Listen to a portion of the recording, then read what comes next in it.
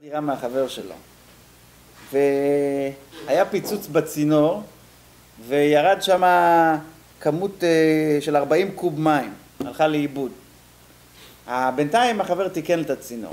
תיקון ברור שהוא על החבר. זאת אומרת על בעל הדירה, זה בהלכה זה לא כל כך ברור, בהלכה זה כמעט ברוב המקרים, בהלכה אתם יודעים מתי הוא צריך לתקן אותו? כש, כשהמים נוזלים כמו, כמו, כמו גשם ישירות, אבל כל זמן שיש איזשהו שיהוי של כמה שניות הוא לא צריך לתקן אותו. זה הלכה, אבל המנהג גובר על ההלכה פה. המנהג של העולם זה שמתקנים, בעל הדירה מתקן את הצינור. השאלה היא המים על חשבון מי? אז התשובה היא שהם לא על בעל הדירה. זה הנזק עקיף, זה נזק של גרמה. הלוואי. בעל... מה? הלוואי מה? שמה? אה, מפילים את זה עליך אתה אומר? תהיה לי בריא. לא, אבל מבחינת, החוק, החוק לא, לא יכול להוציא את זה מבעל זה. אם, אם, אם, אם הוא מוכיח שהוא מיד הביא מתקן, כשהוא שמע על הפיצוץ, הוא מיד הביא מתקן, אי אפשר להפיל את זה עליו. זה אונס. מה אתה רוצה ממנו? חבר'ה, קבוצה של נשים נסעה לבקר בקבר האדמו"ר הזקן באדיץ'. חזרו חזרה, אז הם קנו שם איזושהי תמונה, אני לא הצלחתי להבין אם זו תמונה של קודש או תמונה של בערך קודש, אני לא יודע מה, אבל קנו, הם קנו תמונה, ואת התמונה הזאת הם רצו לעשות אה, הגרלה ולהרוויח קצת החזרים של הנסיעה כשהם חוזרים חזרה לארץ.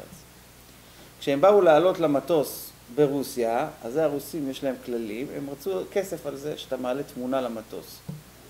אז הם התעצבנו, הקבוצה של אנשים התעצבנה, המארגנות התעצבנו, מה, מה, כסף, כסף, פה, שם. אז אנחנו לא נעלה את זה, אז זה יישאר כאן. הם השאירו את התמונה, אה, השאירו את התמונה שם בטרמינל, והייתה אישה אחת שאמרה, רגע, כמה, כמה, זה, כמה זה עולה להעלות אותו למטוס? היא הלכה, היא שילמה ולקחה את התמונה אחרי שהם עזבו אותה כבר. לקחה את התמונה, הייתה אותה מטוס. ואז הם ראו את התמונה על המטוס. אה, את לקחת אותה? אה, זה פה, שם? תביא, תביא... טוב, אז תשלמו, אז תשלמו, תשלמו. בסדר, נשלם לך כמה שעלה לך, לא את התמונה למטוס. לא, לא, לא, לא, לא, תשלמו כמה שעולה על תמונה. כי אני כבר זכיתי, כבר זכיתי בתמונה, אתם הפקרתם אותה, השארתם אותה בטרמינל. אז התשובה היא שיש מושג של הפקר, ויש מושג של הפקר בטעות בהלכה, יש דבר כזה. אם הם לא ידעו שכדי להעלות את התמונה למטוס צריך לשלם כסף, רק אמרו להם אי אפשר להעלות את זה, אז באמת ההפקר שלהם הוא הפקר בטעות. ואם זה הפקר בטעות, אז, אז, אז, אז הם ישלמו על כמה שעלה להעלות את זה למטוס, ויקבלו את התמונה חזרה. אבל אם הם ידעו שזה עולה כסף ובכל זאת הם הלכו, זה הפקירו. ואז אם הם רוצים את זה חזרה, הם צריכים, הם צריכים אה, לשלם את, ה, את הסכום כולו. שאלה עדינה. אדם הוא חבדניק. אבא שלו, עליו השלום, היה ספרדי. עכשיו, הוא יודע שאבא שלו נמצא בגן עדן של הספרדים. עכשיו, הוא אומר, איך אני צריך להתנהג? אבא מחכה שאני אגיד קדיש עם שזבה. זה מה שהוא מכיר.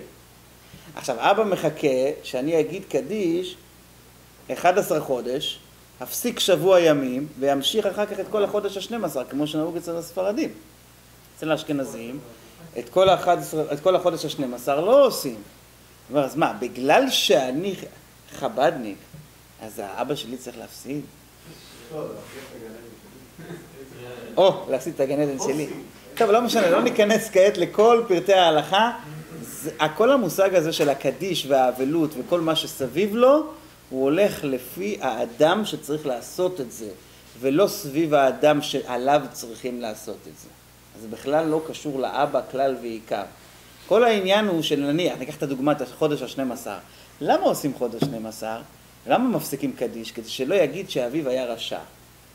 בסדר, אבל כשרואים שהוא נוהג במנהגים אחרים בכל הזה, אז מבינים כולם למה הוא כל החודש השנים עשר לא אומר קדיש, ולא רק מפסיק שבוע. יודעים את העניין. אז כיוון שכך, אין, אין לזה שום שייכות עם, ה, עם הביזיון לאבא שלו. ולכן מותר לו להתנהג ככה לכתחילה. לעומת זאת, אם אבא יגיד לבן שלו, אבל אני רוצה שתגיד עליי קדיש, כזה, אבל אני רוצה... אז מצווה לקיים דברי אמת, זה כבר גדר אחר, אם הוא ביקש. אבל אם הוא לא ביקש, אין מזה שום בעיה כלל ועיקר.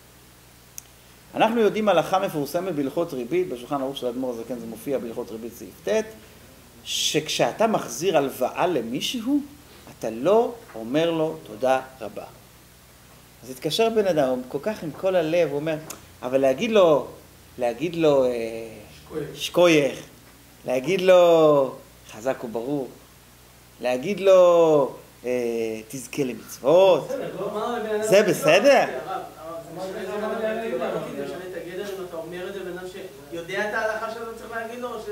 או, והנה רבי יוחנן שואל אותנו, אם זה בן אדם לא דתי, אז הוא יכול להיפגע, שלא אמרת לו תודה. אז יש פה דיונים סביב זה. אז uh, זה קשור גם לשאלה הקודמת, חכה עוד רגע. אבל uh, הנקודה היא כזאת, באמת יש חכם אחד שכתב, פלא יועץ, הוא כתב בספר שלו, שלהגיד תודה אסור להגיד תזכה למצוות מותר. אה? זהו, אז זה הוא אמר, וכולם חולקים עליו. עכשיו, מה ההיגיון שעומד מאחורי, מאחורי המחלוקת שלהם? כשאני בא אליך ואני עושה לך ככה, ככה, שבת שלום, אז אתה עונה לי שבת שלום. אבל אתה מרגיש בלב, אה, הוא עשה לי ראשון. גם מי ש... אה, בסדר, מה הרעיון שלו זה שהוא אומר, אם אתה אומר תזכה למצוות והוא עונה לך חזרה תזכה למצוות, אז אתם קפיטים, שווים. מה שנתתי לו הוא החזיר לי חזרה. ובתודה רבה, לאו דווקא, כי אם אני אמרתי תודה רבה כי קיבלתי הלוואה, אני לא, לא אומרים לי חזרה תודה רבה. אבל אומרים הפוסקים שחולקים עליו שזה לא, זה לא מדויק, כי כשאני אומר תזכה למצוות, אני אמרתי הראשון, אז כיוון שכך זה שווה יותר מהתזכה למצוות השני שהוא ענה לי חזרה. אז כיוון שכך יש פה ריבית. בקיצור, לא אומרים כלום. זה מצווה ומקיימים אותה. עכשיו, שואל אה, יוחנן, אבל מה עושים עם הזה, עם האדם שלא יודע? אז מלמדים אותו. כן, מלמדים אותו. יושבים עם ספר ומלמדים אותו.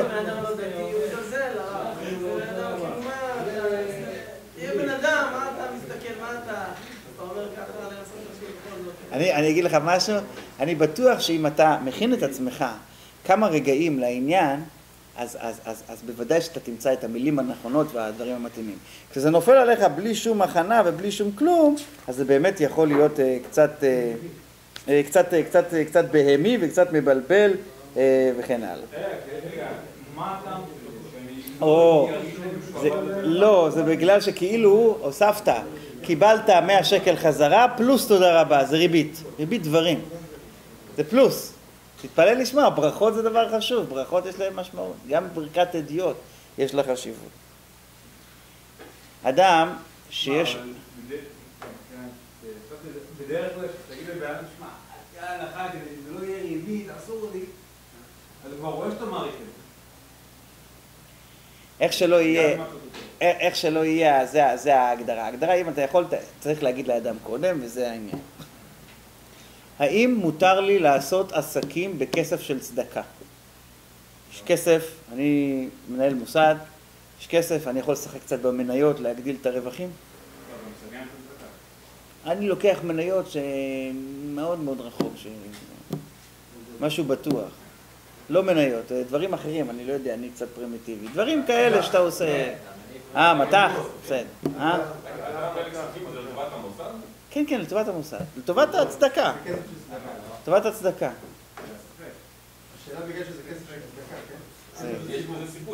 שני דברים הם כללי ברזל בהלכה. כלל ראשון, אפילו הספק הכי רחוק שבעולם. זה כבר סיבה שזה יהיה אסור. כלל שני, גם אם אין שום סיכון, זה צריך להיות שבכל רגע אתה יכול לקבל את הכסף חזרה. כי אולי יבואו עניים, צריך להיות באיקון.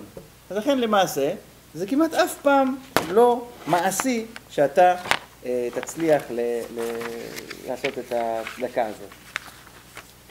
חול המועד, אסור לעבוד. בן אדם אומר, אני מנהל קייטרינג, אני מקבל הזמנות.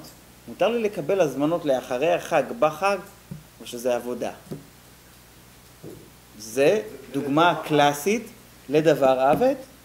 אם הוא לא ייקח את ההזמנות, תדעו לכם שאפילו רחמנא ליצלן, אדם שיושב שבעה, מתירים לו לעשות, אה, אז לקבל הזמנות בטלפון על משהו שהוא יצטרך לעשות אחרי, אחרי השבעה. שאלה אחת לפני האחרונה, כן? אני לא אלאה אתכם, אחת לפני האחרונה. דבר האבד מותר בחול המועד. יש לו המון הגדרות. זה למשל הגדרה, זה דוגמה. יהודי שעוסק בפרסום באינטרנט, מרוויח על זה, הוא בקטנה, זה בנוסף לכל הזה, הוא מפרסם שלושה אנשים, והוא בא ושואל אותי, הרב, אני יכול לפרסם אותם שבת, לא שבת, לא יודע איך שזה יצא, ש... מה אתה מפרסם? ספרי נשים.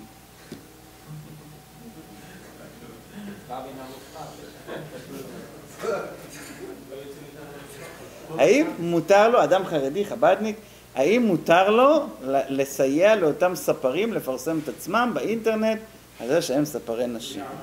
יש פה כמה חילוקים רק רגע, שנייה, שנייה. אה, אני, אני, רוצה, אני רוצה לסגור את העניין בגלל שהזמן שלנו קצר. אה, אה, זה נכון, לכאורה מותר לספר לספר נשים. עסוק במלאכתו, השאלה? סיפרתי לכם פעם על הצלם, על הצלם שהלך על חוף הים ואמר שהוא עסוק במלאכתו. זה, זה צחוק. גם כאן, רוב ככל הפוסקים, בוא נאמר שחוץ מאחד, כל הפוסקים טוענים שזה אסור לספר נשים. על כל פנים, לא ראוי, אסור, לא ראוי. ברגע שאתה מסייע בידו לפרסם את עצמו, אתה מסייע לדבר עבירה. זה לא דבר שהוא נכון. והשאלה האחרונה, אה, או, זה משהו נחמד. אדם עמד בחנות של צ'יינג' להחליף יורו. ההוא בדלפק שואל אותו, מה, מה אתה? אתה למה? רוצה להחליף יורו. ההוא שלפניו שומע, אה, אתה רוצה למכור יורו? תמכור לי. הם סגרו ביניהם את העסקה. בהמתנה לחנות. בא הבעל החנות למוכר, אומר לו, רשע, אתה הפסדת אותי. אתה צריך להחזיר לי עכשיו את ההפסד שלי.